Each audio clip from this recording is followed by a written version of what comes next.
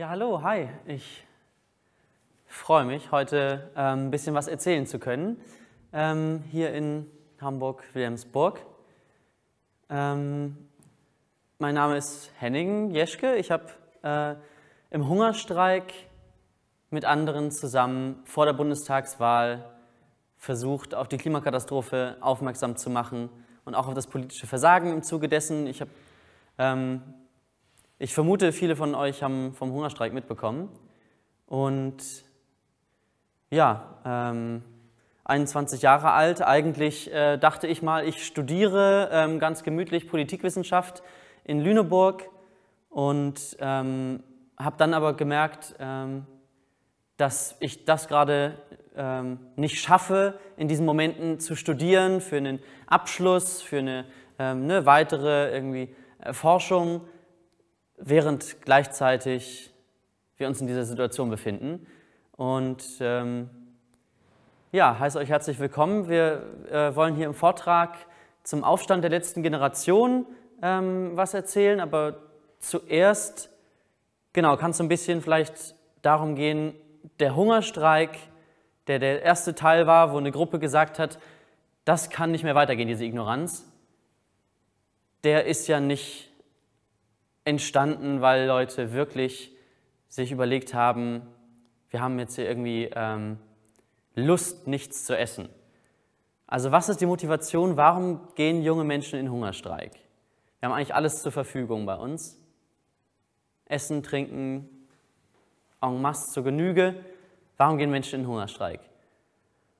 Und da bin ich mir sicher, dass ganz viele schon wissen, die Klimakatastrophe ist ein richtiges Problem und dass es dann vielleicht sogar so ein, oh, jetzt geht es irgendwie wieder, äh, ja, ich weiß doch eigentlich auch schon und es ist auch ein bisschen unangenehm, sich damit auseinanderzusetzen.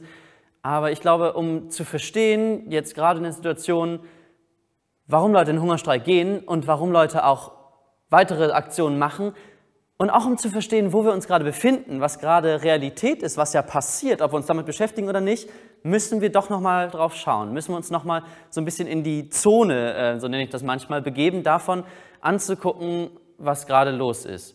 Und während dort also ein halbes Dutzend junger Menschen im Hungerstreik im Regierungsviertel in Berlin war, um darauf aufmerksam zu machen, dass wir den Klimanotstand einfach nicht ernst nehmen in seiner Ernsthaftigkeit, sind in Madagaskar 400.000 Menschen direkt vom Hungerstod bedroht.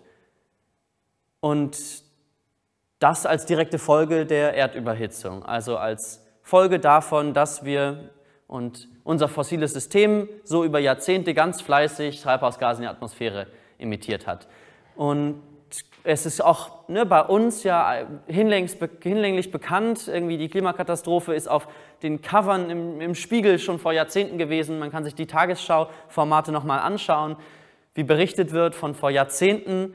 Und jetzt schwappt es so langsam vielleicht hier auch rein, dass es mehr spürbar wird. Ne? Wir hatten die Flutkatastrophen, hunderte Menschen äh, tot, es, viele haben ihre Häuser verloren, also hier in NRW, auch in Deutschland, kam es dann so ein bisschen irgendwie spürbarer an. So natürlich auch mit den Dürren in Jahren davor. Und das alles, was wir jetzt gerade schon erleben, das passiert bei etwa 1,2 Grad durchschnittlicher Erderhitzung. Und wir sind, also 1,25 etwa, man kann also schon auf 1,3 runden, so dazwischen sind wir gerade viel in Gesprächen dann dabei zu hören, 1,5 Grad. Darum geht es, irgendwie 1,5 Grad, darauf wollen wir es begrenzen. Und ähm, das wurde 2015 in Paris im Klimaabkommen, äh, wissen viele von Ihnen sicherlich, äh, festgeschrieben, völkerrechtlich. Man möchte, dass äh, die Erderhitzung begrenzt wird auf deutlich unter 2 Grad, möglichst auf 1,5 Grad.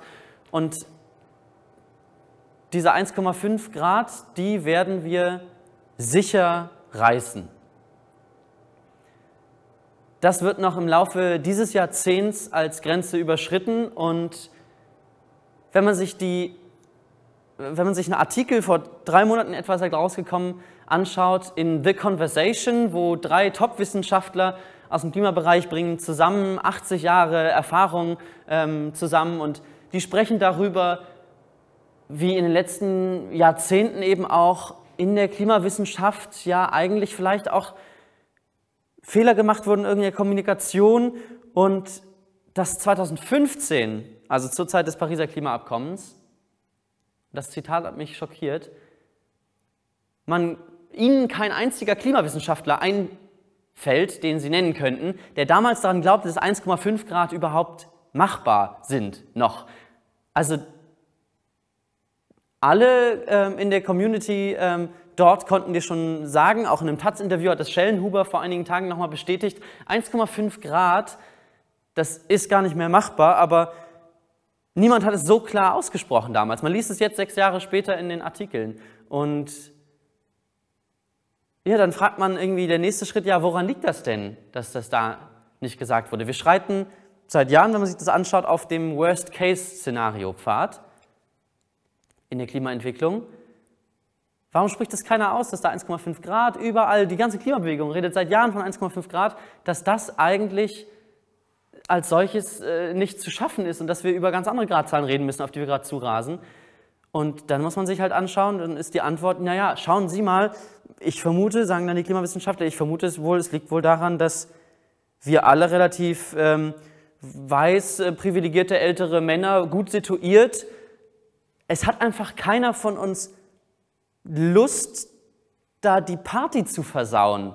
Also wirklich den Inselstaaten zu sagen, ihr seid Vergangenheit. Vorbei, over. Das ist eine unangenehme Sache, das auszusprechen genauso wie das anzunehmen. Und ähm, dann schauen wir uns von da, an, von da aus weiter an, sagen, es sind ganz interessante Dinge zu sehen, wenn man sich gerade anschaut, was Leute sagen, die nicht mehr in ihrer Rolle sind, die sie als Klimawissenschaftler in Institutionen mal hatten. Zum Beispiel Sir David King, der war ehemals Top-Berater der britischen Regierung in Klimafragen, also einer so der fünf Top-Wissenschaftler in Großbritannien. Und der spricht davon, ähm, ich zitiere, wenn ich gefragt werde nach einem Budget, dann äh, kann ich nur sagen, wir haben keines mehr. Es gibt kein Budget mehr. Wir haben schon zu viel verbrannt, zu viel ausgestoßen und wir müssen den Rückwärtsgang einlegen. We need to go into reverse. Also diese Idee von, wir haben ja noch ein Budget und das schaffen wir noch, die ist ja ganz eng gekoppelt damit, dass in all den Berichten, in denen die Budgets vorgelegt sind, immer mitgerechnet wird, wir hätten Technologien, mit denen wir das dann massenhaft aus der Atmosphäre bestimmt rausziehen können, das CO2, die es aber bis zum heutigen Punkt in der Größe gar nicht gibt. Also diese Technologien als Hoffnungsmittel einzusetzen dafür, dass wir noch ein bisschen gemütlicher, langsamer ähm, den Wandel äh, machen müssen, das ist natürlich fatal. Und Sir David King ähm, spricht außerdem davon, ich sage das Zitat mal zuerst auf Englisch und übersetze dann. Also, what we do in the next three to four years, I believe, will determine the future of humanity. Ich glaube, was wir in den nächsten drei bis vier Jahren tun, wird die Zukunft der Menschheit bestimmen, wird darüber entscheiden. Und was bedeutet das, die Zukunft der Menschheit? Das ist natürlich ein ziemlich abstrakter Begriff. Drei bis vier Jahre. Was das bedeutet, sieht man, wenn man sich die Berechnung anschaut, was dann tatsächlich auf der Erde an Folgen kommen, wenn wir von sowas wie 2 Grad Erwärmung dann ausgehen auf unserem Planeten. Und da müssen wir uns anschauen, die 2 Grad Erwärmung, die sind über den ganzen Globus gerechnet. Und der Erdball ist, die Erdoberfläche ist zu 70, zu über 70 Prozent von Wasser bedeckt, wie wir wissen.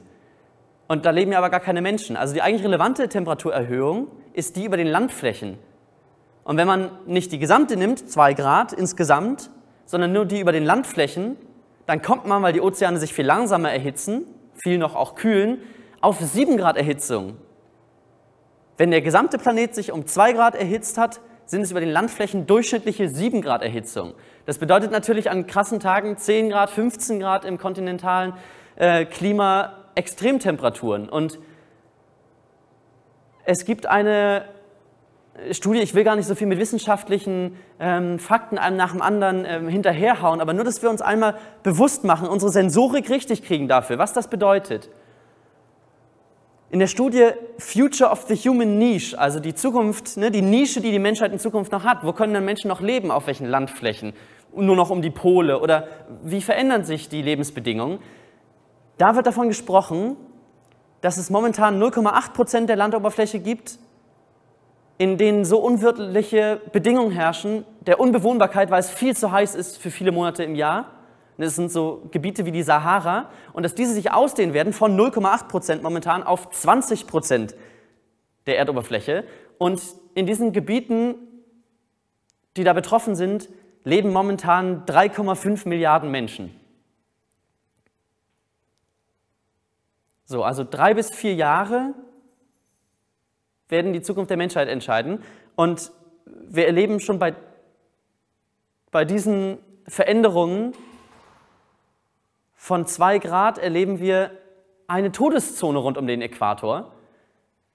Und diese 3,5 Milliarden Menschen, die sind ja nicht einfach im luftleeren Raum. Die sind ja nicht einfach so, boah, ja, okay, dann, dann ziehe ich vielleicht mal an, ans andere Ende der Welt. Sondern was da passieren wird, das sieht man, wenn man sich jetzt anschaut, was passiert, wenn Staaten, wenn Gesellschaften unter extrem Druck geraten.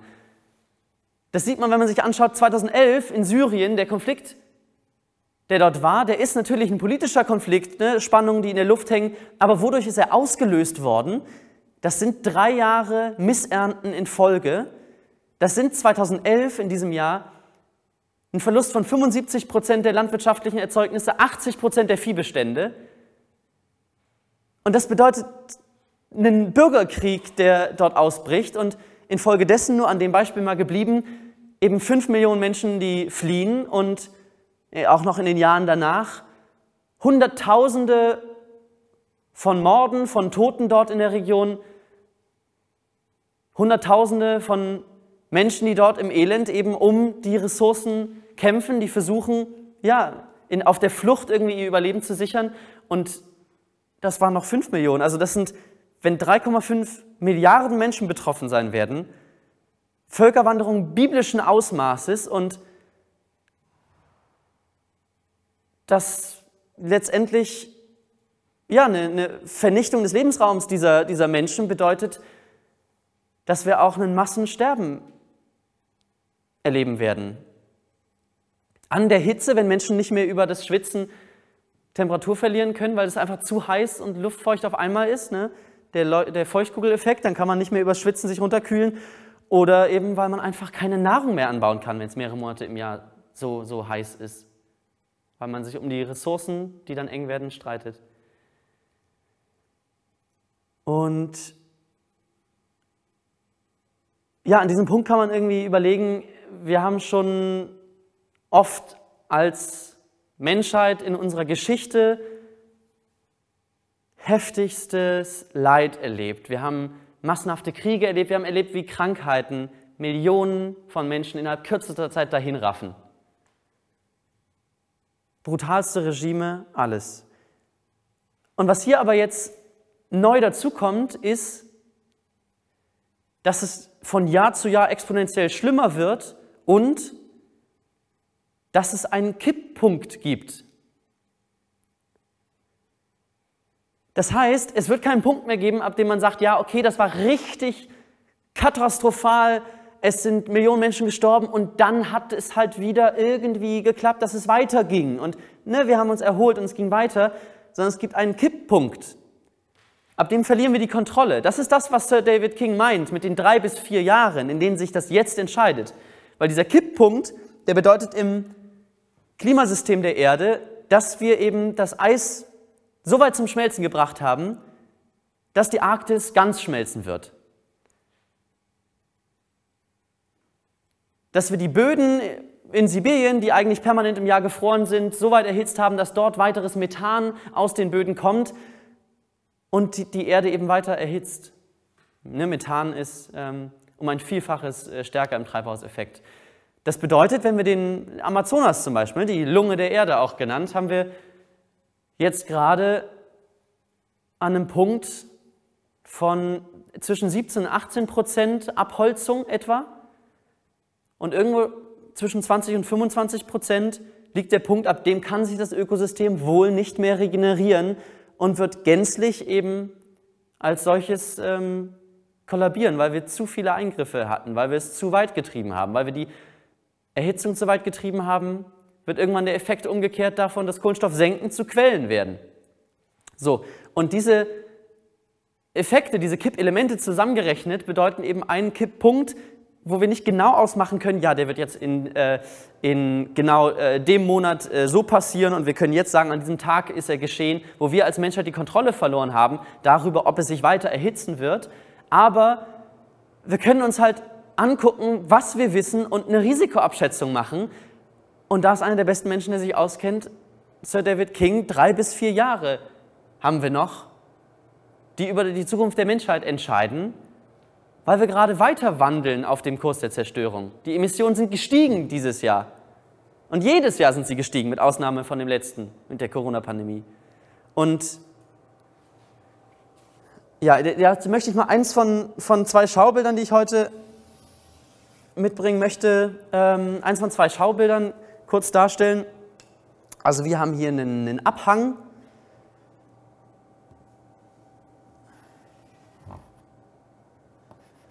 Und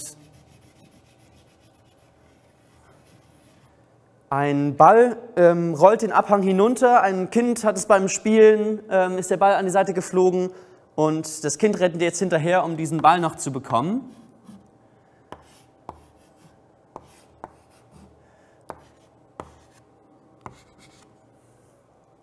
Und vielleicht schafft es an Punkt 1 oder an Punkt 2, aber dann ist der Ball zu schnell und rollt runter. Dann kann man den Ball nicht mehr aufhalten, nicht mehr fangen, bevor er den Abhang hinunterrollt, weil er zu schnell ist. Nur an Punkt 3 schafft man es, den Ball noch zu halten, noch zu fangen.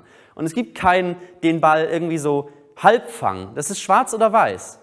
Also entweder man kommt rechtzeitig an, um den Ball noch zu fangen, oder man ist vielleicht ein bisschen schneller gewesen ähm, als, als in einem anderen ähm, Gedankenexperiment, in einem anderen Versuch, aber man hat ihn trotzdem nicht gefangen. Man kann den Ball nicht halb fangen. Es ist schwarz oder weiß.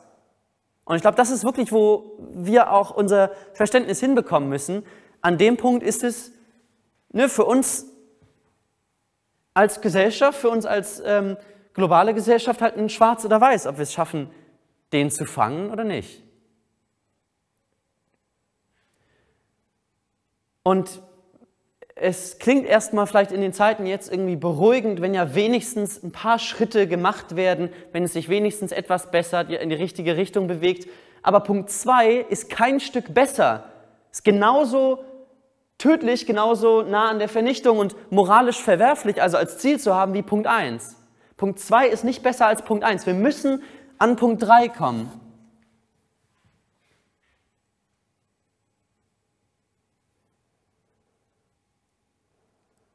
Drei bis vier Jahre, sagt Sir David King. So. Und um an diesen Punkt zu kommen, ähm, müssen wir halt schauen, braucht es gewagte ähm, Schritte, aber wir können uns nicht leisten, es als Ziel zu nehmen, was, was weniger ist als Punkt 3. Das heißt, wir müssen Punkt 3 als Ziel haben. Und das bedeutet, mit dem Problem, was wir vor unseren Augen haben, diesem Ball, ne, also dem sozialen Zusammenbruch infolge der ökologischen Katastrophe, die Ökosysteme, ja auch das Artensterben und die Erdüberhitzung, mit dem verbinden wir jetzt die Vision, dass wir das noch schaffen aufzuhalten. Also wenn deine Kinder im ersten Stock im brennenden Haus auf dem Balkon schreien um Hilfe, dann tust du alles, um sie zu retten, dann gehst du da rein und holst sie da raus. Dann denkst du gar nicht irgendwie lange drüber nach, dann weißt du, das ist jetzt das Richtige und das werde ich tun, auch wenn es mit Risiken verbunden ist und wenn nicht ganz klar ist, wie es ausgeht. So, und das bedeutet, wir brauchen eine Wiederbelebung, eine viel stärkere Bewegung als das, was wir gerade sehen, um effektiven zivilen Widerstand mit vielen Menschen zu leisten und unsere Regierung dazu zu zwingen, die Gesetze zu erlassen, die es braucht, die Systeme zu verändern und ja, letztendlich ähm, eine, eine dramatisch schnelle Dekarbonisierung unserer Systeme. Es liegen ja eigentlich alle Lösungen auf dem Tisch, was man zu tun hätte. Aber es gibt eben politische Mächte, die dem entgegenstehen. Und ja, man kann, glaube ich, ähm, glaube ich wirklich an diesem Punkt in der Geschichte ähm, nicht umhin, entweder sich ähm, diesen Mächten halt entgegenzustellen und zu sagen, mit friedlichem Ungehorsam haben wir eigentlich als Bevölkerung ähm, das Sagen und wir wollen nicht, dass unsere Kinder verhungern oder, in, äh, oder diese Kriege und diese Vernichtung miterleben müssen in dem Ausmaß. Und vieles ist schon eingeloggt, vieles ist schon fest, aber wir wollen den Ball noch versuchen, mit allem, was wir können, zu fangen. Oder, wenn wir das nicht tun, dann wird es nicht von alleine passieren, dass diese Veränderung stattfindet. Wir haben jetzt in diesem Jahr, äh, jetzt beginnt, ich glaube, äh, morgen beginnt in Glasgow der 26. Weltklimagipfel, COP26. Das heißt, wir haben schon 25 dieser Gipfel gehabt, in denen die Regierungen gesagt haben, ja, ähm, wir müssen, das ist irgendwie ein Problem und wir müssen da was tun und die Emissionen sind jedes Jahr weiter gestiegen. So, es wird nicht passieren mit den Menschen, die gerade ähm, das Sagen haben darin, wie es läuft. Das heißt, wir wollen das effektivste Mittel des zivilen Widerstands dem entgegensetzen. Und da kommt es jetzt zum zweiten Teil, der Aufstand der letzten Generation. So, wir sind die Letzten, die es halt jetzt noch ändern können. Ist irgendwie, kann man sich jetzt ähm, freuen, dass man eine klare Aufgabe hat oder man kann sich ärgern, dass es gerade an uns ist, aber äh, ausweichen kann man dem nicht, weil wenn man dem ausweicht, ist es trotzdem da. Wir sind hier, auch wenn wir nicht mit vielen Leuten hier gerade zusammensitzen, auch wenn nicht viele Leute vielleicht gerade zuschauen, die wenigen, die wir hier sind, wir wissen um das Problem und deswegen haben wir die Verantwortung, jetzt zu handeln und wir sind die Letzten, die werden handeln können. Drei bis vier Jahre, sagt Sir David King. Und deswegen wird der Aufstand der letzten Generation im neuen Jahr mit 100 Leuten es zum Ziel haben, Autobahnausfahrten zu blockieren und große Bundesstraßen zu blockieren und zu fordern, dass sofort, um die Ernährung unserer Kinder in der Gesellschaft sicherzustellen, ein Lebensmittelwegwerfgesetz auf den Weg gebracht wird, was sofort die überflüssigsten aller Emissionen ähm, beseitigt und eine gesamte Wende der Art und Weise, wie wir Essen produzieren, ähm, einleitet als sofortige Schritte, um noch dahin zu kommen. So, und ähm, da werfen sich jetzt vielleicht einige Fragen auf, ne? warum diese Aktion und die Forderung und dieses Framing und da ähm, möchte ich vielleicht zuerst einmal ähm, historisch an einen Punkt uns zurückbringen, ähm, der in einigen Punkten vielleicht uns nicht ganz unähnlich jetzt gerade ist.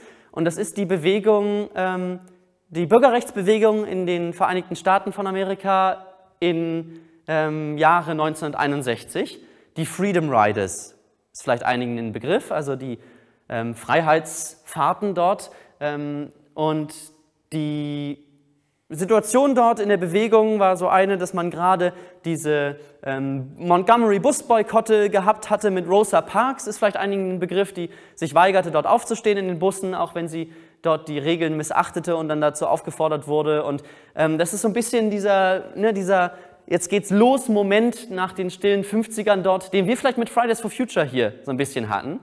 Und danach, zwei, drei Jahre danach, ist alles so ein bisschen aufgedröselt. Es gibt strategische Uneinigkeit, es ist irgendwie demoralisiert gerade ähm, die ganze Bewegung und nicht so richtig klar, wo geht's jetzt hin und was soll überhaupt passieren und dann gab es eine kleine Gruppe von Menschen, die hat sich zusammengesetzt, also es waren ähm, 24 dann, geplant hat es eine kleinere Gruppe, 24 Leute haben sich dann zusammengesetzt und die sind eben in Bussen in den Süden der USA gefahren, um dort die Gesetze der Rassentrennung zu brechen. Und das heißt, sie hatten eine Aktion, die ziemlich krass war. Es war ein ungewisser Ausgang, weil dort war ein ne, unglaublicher ähm, Rassismus, der zu der Zeit wütete, der Ku Klux Klan auf, ähm, in großer Blüte. Und diese Menschen wurden dann verprügelt, die Busse angezündet. Und ähm, es kamen aber weitere Busse. Es kam noch ein Bus und noch ein Bus. Ne, nach einigen Wochen kam der, der zweite Bus, dann direkt ein paar Tage später der dritte, dann der vierte, der fünfte, dann ging es schnell. Und es waren am Ende 400 Menschen, die ins Gefängnis gesperrt wurden. Und das Ganze war als Kampagne einfach nur mit der Forderung verbunden, dass man dort in den Bussen so zusammen würde sitzen dürfen. Eigentlich nur recht umgesetzt, was schon klar war. Der Supreme Court, das oberste Gericht, hatte schon entschieden, dass man nicht nach Hautfarbe diskriminiert werden dürfte in den, auf den Reisen. Und es ist zu einem äh, Zeitpunkt gekommen, in dem äh, Kennedy, der Präsident der USA, gerade ähm, am allerliebsten äh, einfach nur gemütlich seine außenpolitischen Sachen, Kalter Krieg, Verhandlungen in Wien mit Khrushchev dort gemacht hätte. Und es passt ihm so gar nicht rein, zu dieser Zeit diese Freedom Riders dort zu haben, weil ne, ne, das beschädigte den Ruf des schönen, ähm, äh, so freien und äh, liberalen Amerikas. Und die ne, Titelseiten der Welt waren davon gefüllt, dass dort ähm, blutende Schwarze zu sehen waren. Das heißt, es war zu einem Zeitpunkt der strategischen Schwäche des Gegenübers, in dem die Leute diese Kampagne ganz bewusst dort führten, weil es nicht würde ignorieren können, es würde nicht weitergehen können. Er rief dann ganz wütend an und sagte, stoppen Sie das. Und davon ging eine Wiederbelebung der Bewegung aus, von diesen Freiheitsfahrten, die später zu den Erfolgen in Selma und in Birmingham führten, dazu, dass diese Bewegung dann erreichte, was man ähm, heute vielleicht noch kennt. Und das heißt, ne, nur noch mal irgendwie, um kurz zusammenzukommen, weil einige Sachen sich ähneln, ist natürlich alles, äh, nicht alles gleich, aber so die Dynamiken sind immer wieder in der Geschichte zu entdecken.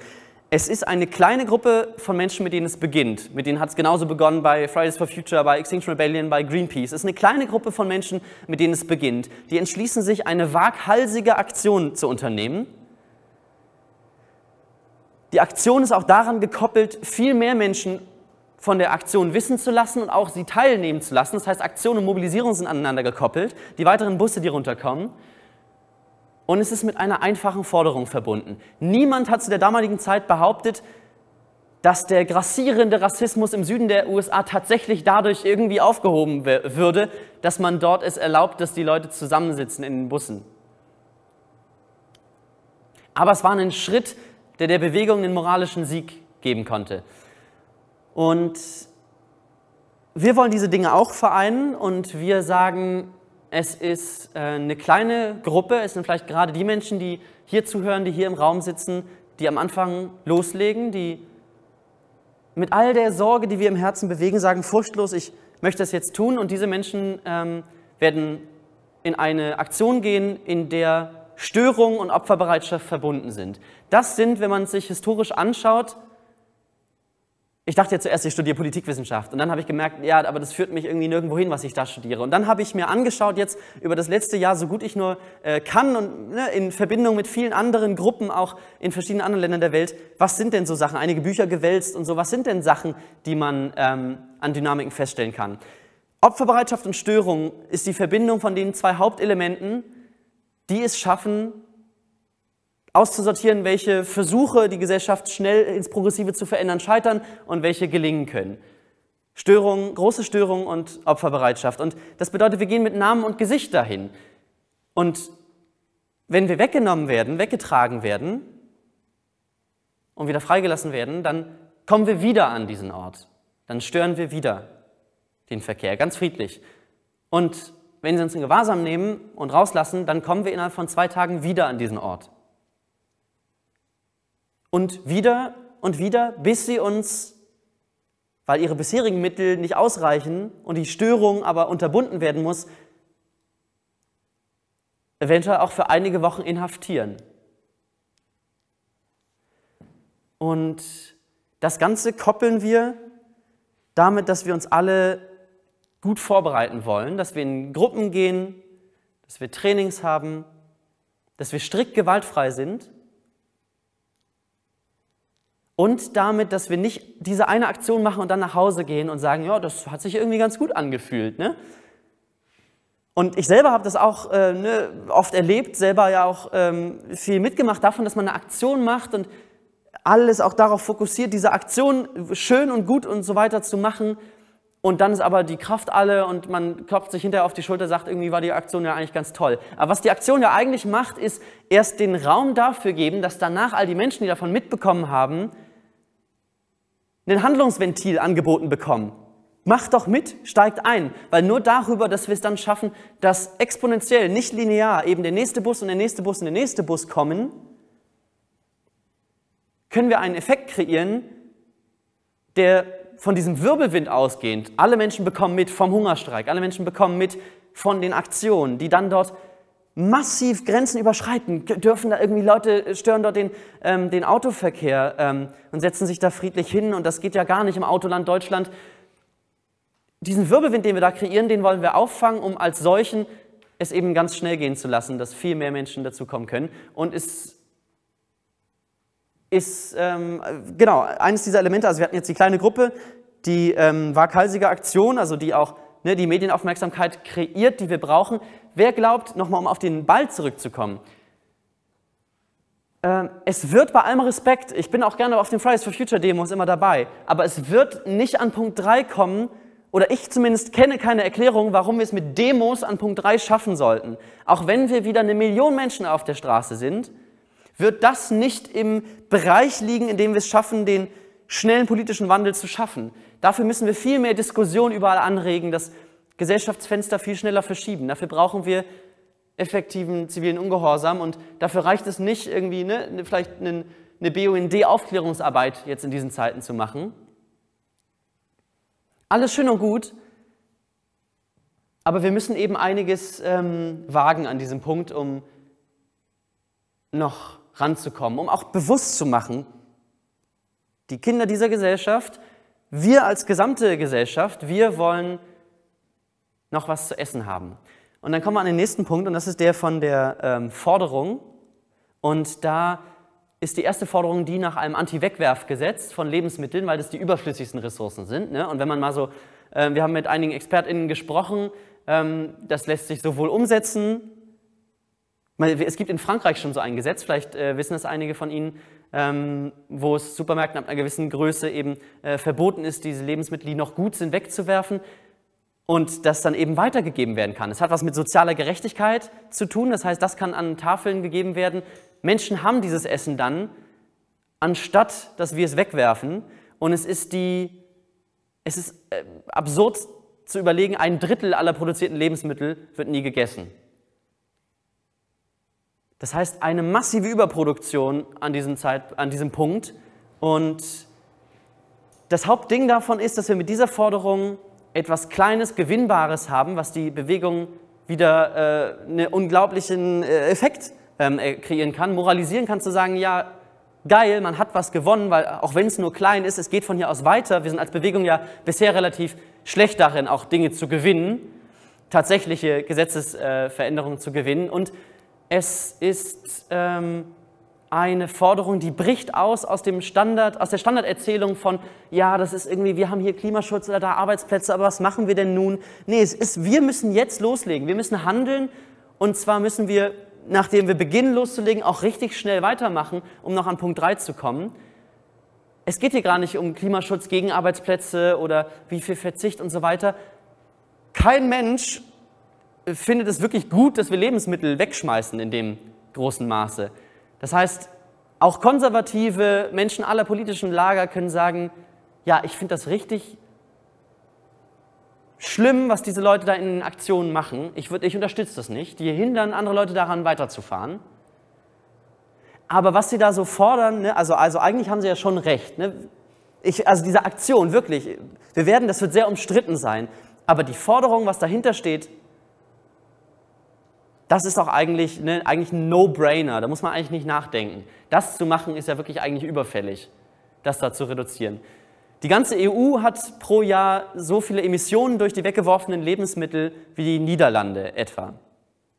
Und der ne, ein ganzer Teil davon ist auch in Einzelhaushalten, aber der im Großverbrauch kann man eben schnell reduzieren. Wir haben dort schon ein Gesetz ähm, fertig vorformuliert, was man nur umsetzen muss. Das heißt, die Kampagne wird auch diszipliniert sagen, wenn das umgesetzt wird, dann können wir diese Störung hier beenden. Wir wollen doch nur, dass diese Gesellschaft hier das Recht, was wir schon haben, durchsetzt, nämlich das darauf, dass wir noch weiter zu essen haben, dass unsere Lebensgrundlage geschützt ist, dass auch ne, all die äh, katastrophalen Folgen abgeschwächt werden, indem wir jetzt konkrete Schritte ergreifen.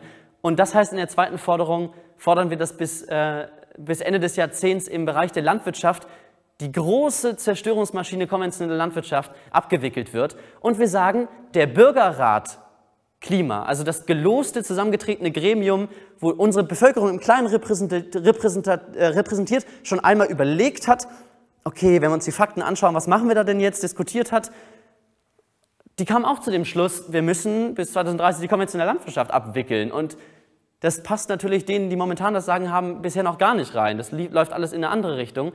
Aber das ist eben der Punkt, wo wir sagen können, es geht gar nicht darum, wie sehr du ähm, in irgendwelchen politischen Milieus jetzt hier oder da ähm, warst oder bist. Es geht einfach darum, dass wir unser, Grund, ähm, unser Grundprinzip auch als Gesellschaft, dass wir überleben wollen, dass wir weiterleben wollen, dass unsere Kinder noch leben können und auch, dass wir in einigen Jahrzehnten es nicht richtig ähm, mit Nahrungsmittelknappheit, sozialer Spaltung und Kriegen zu tun haben in unserer Nähe. Das wollen wir und das wollen wir über eine Sache die ist doch eigentlich für alle verständlich. Wir wollen dürreresistente Landwirtschaft und wir müssen da die Emissionen krass reduzieren. Und das bedeutet, man hat natürlich nur einen Bereich. Der Bürgerrat Klima macht fünf Bereiche auf und ähm, Ernährung und Landwirtschaft ist dann nur der eine Bereich. Und wir ähm, sehen aber, wir müssen strategisch schlau sein mit unseren Forderungen. Und in der Klimabewegung, glaube ich, käme es gewiss irgendwie ähm, Erstmal würde es sich besser anfühlen, könnte ich auch nachvollziehen, sozusagen, wir wollen alles. Jetzt die ähm, Revolution und zwar morgen. Ähm, und ja, das, das fühlt sich erstmal gut an, aber damit kommt man dann in unserer Gesellschaft vielleicht erstmal eben an einen, an einen Punkt in einer Sackgasse, ab dem man es nicht schafft, diese Eskalation aufrechtzuerhalten, davon, dass über Aktion und Mobilisierung mehr Menschen dazukommen. Weil wenn wir es schaffen, dieses Gesetz zu bekommen, dass es umgesetzt wird, dann können wir einen Sieg deklarieren, überall in, ins äh, Land ziehen und Zellen des ähm, Widerstandes aufmachen, weil wir das System weiter verändern müssen, weil es damit nicht getan ist und in einigen Wochen wiederkommen mit fünf, sechs, zehnmal so vielen Menschen. Und wenn sie nicht darauf eingehen, das ist die Dilemmasituation, die wir sie bringen. Wenn Sie darauf eingehen, haben wir Gewinn. Wenn Sie nicht darauf eingehen, dann sperrt die neue Bundesregierung zu Beginn ihrer Amtszeit, während sie sich als die Klimaregierung, der Klimakanzler Scholz und der Aufbruch, der jetzt kommt, versucht zu framen, hunderte junge Menschen weg. Das Einzige, was diese Menschen gefordert hatten, ist, dass sie noch was zu essen haben werden in Zukunft, dass wir die Emissionen krass reduzieren in dieser Zeit über Sachen, die eigentlich No-Brainer sind, über die man eigentlich nicht nachdenken muss.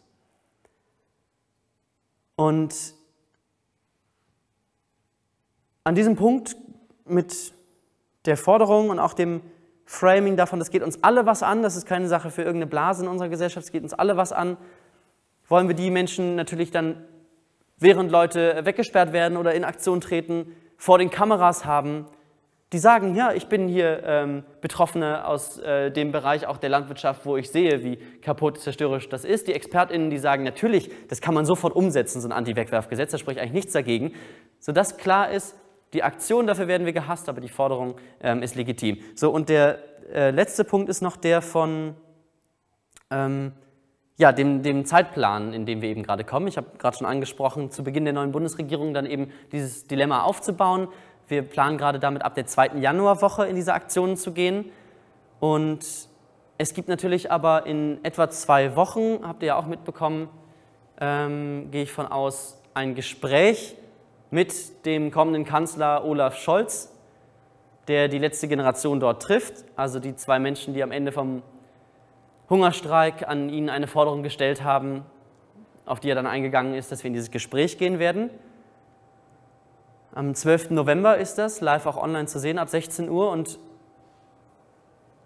man kann also im Hungerstreik auch schon sehen, es ist eine kleine Forderung eigentlich, ein Gespräch. Ja, was ändert ein Gespräch jetzt gerade schon? Aber es setzt eine Dynamik frei, wenn man es schafft, dieses zu bekommen. Und wenn man es schafft, dass der Diskurs losgetreten wird, dann kriegt man vielleicht am Anfang nur das, das, Fingerglied des Gesprächs, wenn man eigentlich den ganzen Körper bewegen will, aber kann dann beim nächsten Mal die Hand ziehen, den Arm ziehen und dann den ganzen Körper bewegen.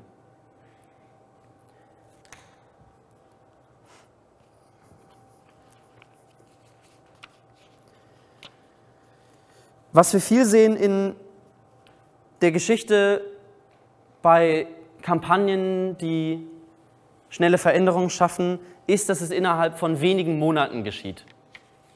Das heißt, all unser, ja, unsere Deprimiertsein darüber, dass es nicht passiert gerade, was ich auch spüre, das heißt aber nicht, dass es nicht möglich wäre. Also niemand weiß, ob dieser Plan das jetzt hier schafft. Aber die Frage, die wir jetzt uns in diesem Moment gerade stellen, ist doch, was denn dann? Also, was, also dieser Plan gibt uns keine Garantie darauf, dass irgendwas ähm, davon Erfolg haben wird. Aber was tue ich denn sonst in den nächsten Monaten, wenn nicht das? Und damit haben wir ähm, das finde ich immer ganz inspirierend. Ich bin ja selber über, die, über den Satz auch reingekommen zu Extinction Rebellion vor etwa zwei Jahren, dass ähm, gesagt wurde, die Hoffnung stirbt, die Aktion beginnt. Hope dies, action begins. Aber das heißt natürlich weder, dass man kopflos in Aktion treten sollte. Das heißt, auch wir haben diese kleine Gruppe von Menschen, die sich strategisch das Ganze angeschaut hat, von klugen Köpfen, die diesen Plan entworfen haben. Und das heißt andererseits, Hope dies, action begins, Hoffnung stirbt, die Aktion beginnt jetzt.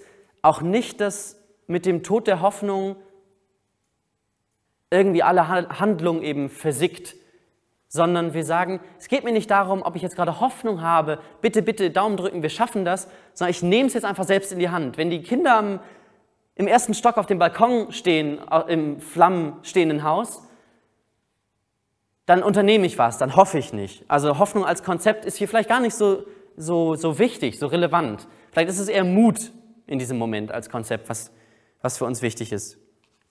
Und dann sehen wir, wenn wir in andere Länder schauen, auch, dass es dort kleine Kampagnen, Gruppen gibt, die sich zusammenraufen, die Pläne schmieden. Einige gar nicht so unähnlich, Leute, die zum Schluss kommen, okay, wir müssen wohl auch unterbrechen, wir müssen friedlichen Ungehorsam wohl auch mit einer gewissen Opferbereitschaft machen, dafür, dass mein Job gerade, meine ähm, finanziellen äh, Rücklagen, mein eigentlicher Plan für die nächsten Monate, mein Studium, meine Schule jetzt gerade beiseite stehen und ich jetzt gerade diese Kampagne mache. Und das sehen wir in vielen Ländern. Und ähm, genau, ich will nur noch darauf eingehen, wir sehen, wenn es passiert, dann passiert es halt schnell und in so einem ähm, einen gewissen Wirbelsturm, in so einem Fenster, wo sich Leute plötzlich fragen, oh, es ist ja doch viel mehr möglich, was ich bisher gedacht hatte, wie ist denn das passiert? Und das haben wir immer wieder erlebt, auch in der Geschichte. 2011, der arabische Frühling ist durch viele Länder geschwappt, ne, 1989, 1968. Es gibt immer und auch immer verschiedene große Wellen, aber es ist, wenn es in einem Land beginnt, dann häufig so,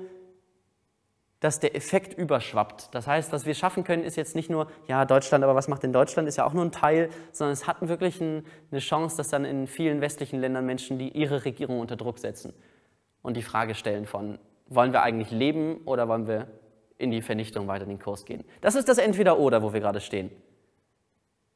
Also erleben wir entweder die größte für mich vorstellbare, das größte für mich vorstellbare Verbrechen, weil wir wissen eigentlich, was passiert und es wird trotzdem weiter betrieben, die größte Vernichtung oder finden wir noch einen Weg daraus?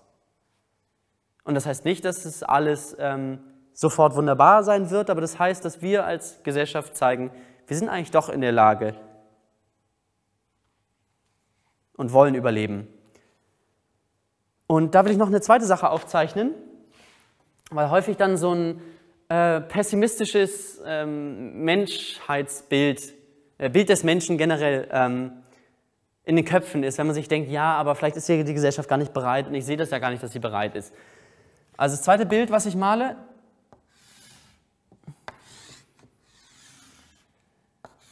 ist ähm, so ein Raum, ein Gefängnis. Leute sind da drin zumindest äh, eingesperrt.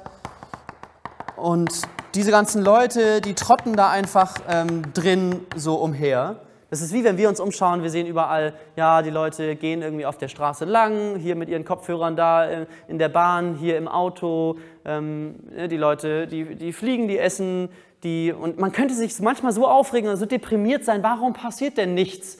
Und man sieht aber, alles geht weiter, alles geht, ne, alles irgendwie, alle schreiten so lang. Und jetzt gibt es zwei Möglichkeiten, ähm, so ein bisschen, also was da passiert eigentlich in den Köpfen der Menschen, ist entweder, ja, ist mir alles scheißegal, soll doch halt so weitergehen. Und das ist quasi, man kann von außen sagen, ja, okay, weil sie alle nichts tun, komme ich zum Schluss, die wollen ja auch alle nichts tun. Aber man kann, wenn man nur beobachtet, dass sie nichts tun, nicht wissen, ob es nicht auch eine gewisse Unterdrückung gibt von eigentlichen Wünschen nach Handlung. Das heißt, es gibt so ein Collective Action Problem. Ich sehe, nichts passiert und niemand macht was und deswegen mache ich auch nichts. Und es geht mir aber damit nicht gut. Und die psychischen Krankheiten, auch der, die Ängste, die steigen ja gerade enorm an in unserer Gesellschaft. Eine Studie hat nochmal gezeigt, ähm, vor etwa eineinhalb Monaten rausgekommen, global insgesamt sind gerade die jungen Menschen von unfassbaren Ängsten heimgesucht. Die Hälfte der, Jugend, der jungen Menschen hat täglich Ängste in Bezug darauf, was die Klimakatastrophe mit sich bringen wird und was das Regierungsversagen eben im Angesicht dessen ist. Und das heißt, wenn wir diesen Raum haben von dieser unterdrückten Wut, Angst, Trauer, äh, Bedürfnis, dass was passiert, was irgendwie immer mehr wächst, aber es passiert nichts und niemand macht was, dann bedeutet das, wenn aus diesem Gefängnis vielleicht jemand die Tür aufmacht, vielleicht auch nur einen Spalt aufmacht, dann gibt es die Chance, dass sich was entlädt, was man vorher gar nicht gesehen hat. Das heißt, dann strömen diese Menschen plötzlich da durch, durch diesen Spalt. Dann ist plötzlich viel mehr Bewegung drin und plötzlich handeln dann Menschen in die Richtung, weil es diesen Anstoß gegeben hat und weil es dieses, diese Öffnung gegeben hat. Weil die Unterdrückung, all die Sachen, die Menschen nicht haben zulassen wollen, auch bei sich selber nicht, die die Gesellschaft sie nicht hat machen lassen, die finden plötzlich einen Ausweg und man frisst sie nicht mehr in sich hinein, sondern man kann sie nach außen bringen. Und da müssen wir eben dafür sorgen, dass das nicht erst in ähm, zehn Jahren dann auf gewaltsame ähm, Art und Weise geschieht und wir in, in bürgerkriegsähnliche Zustände geraten, sondern dass das sich entlädt, all die Wut, die Trauer, die Angst, die Emotionen, die vielleicht auch Ihnen gekommen sind, wenn wir im Teil der Klimakatastrophe uns damit befassen, was auf dem Spiel steht, dass all die Treiber dafür sind, dass wir handeln. Und ja, zum Schluss vielleicht nochmal hier zum Raum zurückgekehrt. Sind wir hier gerade vielleicht eben die wenigen, an denen das liegt und wir wollen, das habe ich ja schon mal gesagt, ne, ähm, wir versuchen auf 100 Menschen äh, zu kommen. Wir haben mal überlegt, ähm, man bräuchte, wenn in jedem Meeting zwei Leute sagen, sie sind dabei, halt 50 Meetings und es ist keine einfache Entscheidung zu sagen, ich bin bereit, in wiederholte Störaktionen zu kommen, auch wenn ich, also mit, bis ich eben inhaftiert werde für einige Wochen. Und es ist aber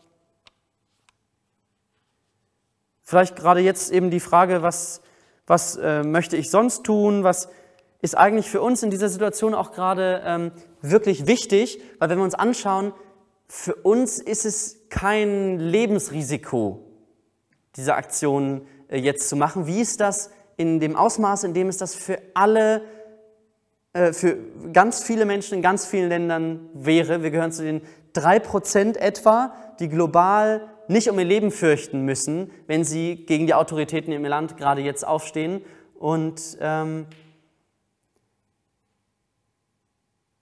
sowas ist, sowas ist schon dabei. Also natürlich müssen wir uns vorbereiten, aber ja, vielleicht lese ich einfach mal ich weiß nicht, ähm, genau, äh, gebe ich einfach mal weiter an ähm, Person. Ich lese kurz vor, was eine Person äh, formuliert, die sich überlegen kann, dabei zu sein und dann gebe ich nochmal ab und ähm, Melli äh, erzählt äh, vielleicht kurz noch was. Ähm, ja, ich bin dabei.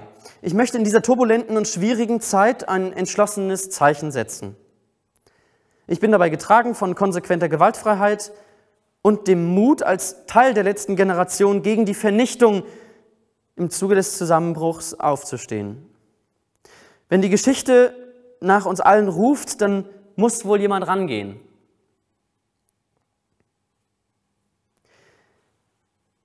Es ist keine einfache Entscheidung, aber ich werde im Januar dabei sein. Auch wenn ich Sorge habe, denn der Schritt liegt außerhalb der Komfortzone, werde ich das Notwendige tun. Das ist es, was es für mich gerade bedeutet, hier ein Mensch zu sein und lebensfroh und unbeugsam. Der Plan hat, glaube ich, die Chance, was zu bewegen. Ich möchte es versuchen. Was ist denn schon dabei? Ich werde mich gut vorbereiten, ich habe Angst, ich habe Sorge, aber habe eigentlich nichts zu verlieren. Ich habe eigentlich wenig zu befürchten.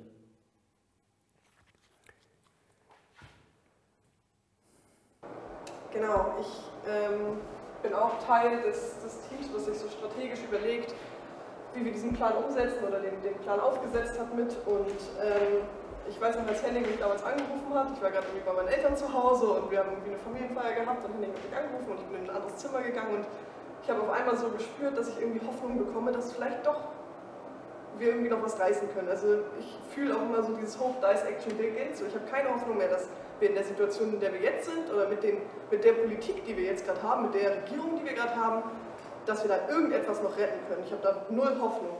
Und auf, oft auf Aktionen, ich bin ganz viel auf Aktionen von Extinction Rebellion, wenn ich da die Menschen sehe und von vielen so diese Energie spüre, die wirklich was verändern wollen, dann kriege ich wieder so einen Funken Hoffnung, dass wir vielleicht mit diesen Menschen etwas verändern können. Ich glaube nicht an eine politische Rettung. So.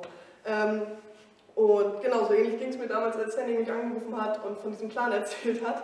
Ähm, und ich war sofort Feuer und Flamme, habe gedacht, ja, das ist gerade das, wo ich sehe, das hat die größte Chance, etwas zu verändern. Also von allen Sachen, die ich so kenne, von allen Bewegungen, die ich kenne, von allen, allen Plänen, die es so gibt, hat das gerade in meinen Augen die größte Chance, etwas zu erreichen. Und das ist das, woran ich mich, mich klammer. Und das ist das, wo ich, wo ich mitmachen möchte. Und ähm, genau, ich ähm, treffe noch strategische Abwägungen, ob ich im Januar bereit bin, ins Gefängnis zu gehen oder nicht. Zum einen ähm, sind das noch Entscheidungen, die mein Umfeld betreffen, wie gut mein Umfeld damit klarkommt.